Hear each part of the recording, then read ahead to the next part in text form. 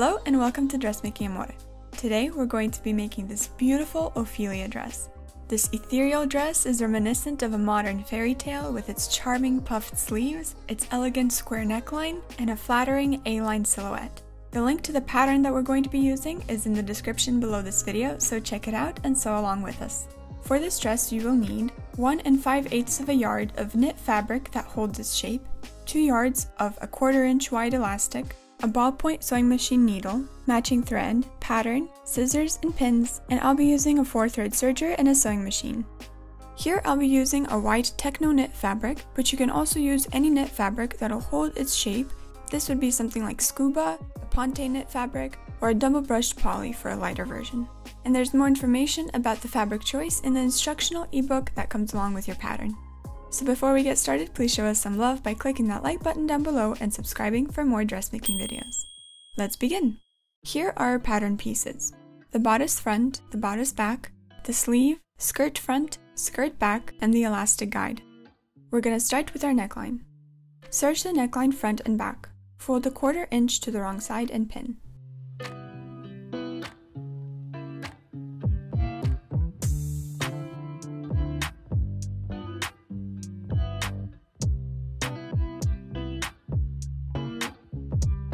Press.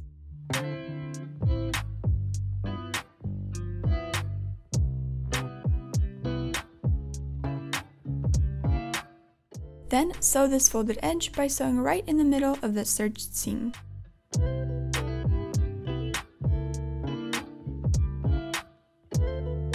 Here's where you insert the elastic. I did it after a fitting, but this would be the best time to do it. So insert a quarter inch wide elastic into the formed casing of the front and back neckline and secure the ends.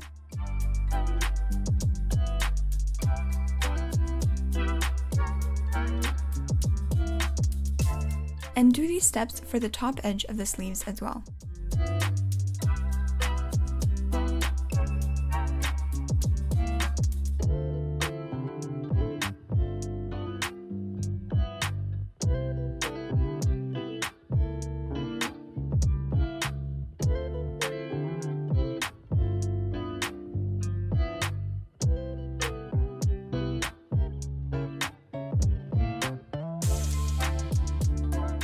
Place the bodice back and bodice front right sides together and pin the side seam.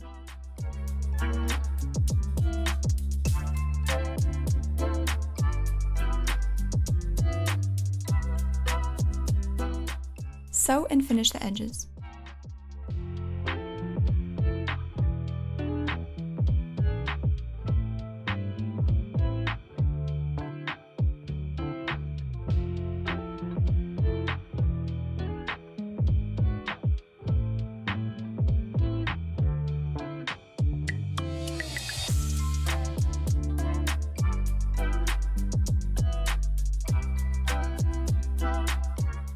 Sew the side seam of the sleeves and serge the hem.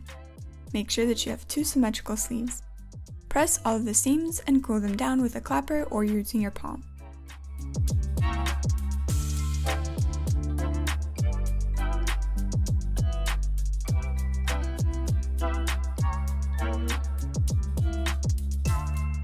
Pin the sleeves into the armhole right sides together, matching the side seam.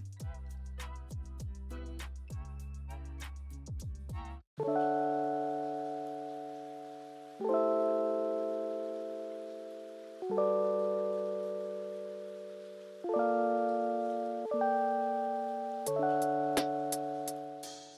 and serge.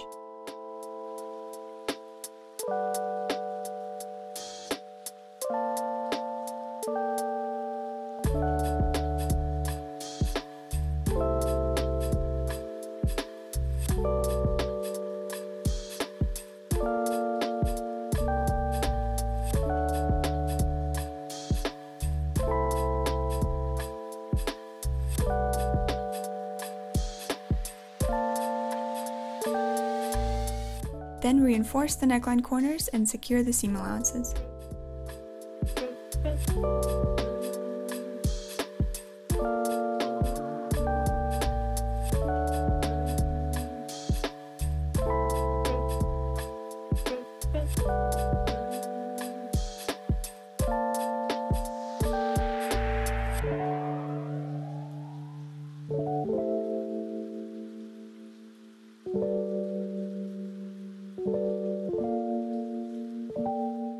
With half an inch of the serged hem to the wrong side, pin and press. I used my glass head pins, which are safe to use for ironing because they won't melt.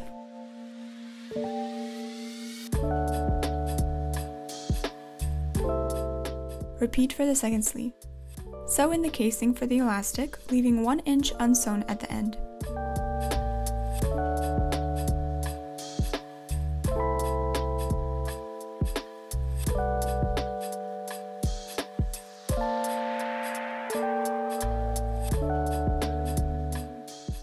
Insert the elastic using a safety pin.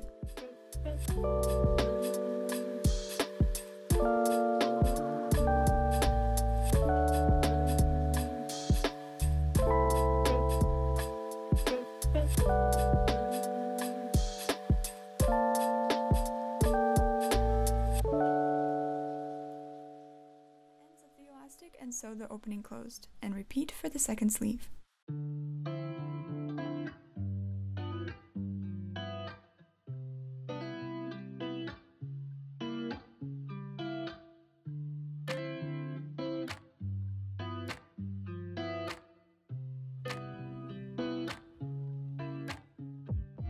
Try it on and check for a good fit. You can actually leave it here and have a crop top, but we'll move on with the rest of the dress.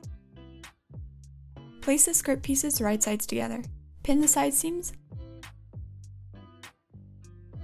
Sew and serge.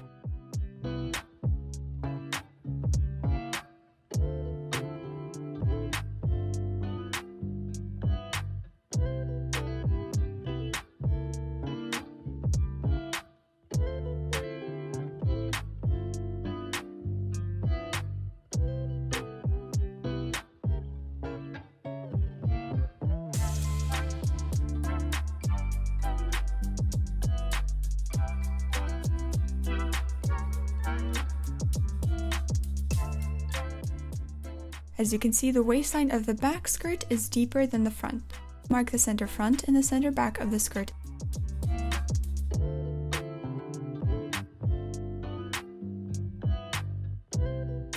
And mark the center front and the center back of the bodice. Place the bodice inside the skirt right sides together, making sure that the center back of the skirt is matching with the center back of the bodice pin at the side seams and the center marks, sew and serge.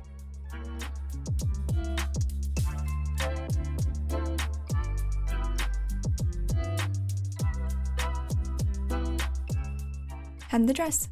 Fold the serged edge to the wrong side, pin and press.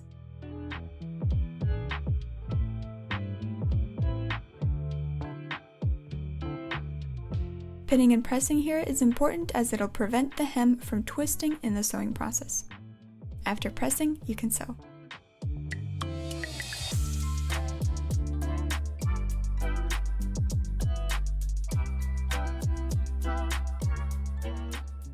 Give your dress a finishing press and we are done with our beautiful Ophelia dress. As you can see, we also made this crop top using this pattern and it looks very elegant and youthful. So get this sewing pattern at the link in the description and happy sewing!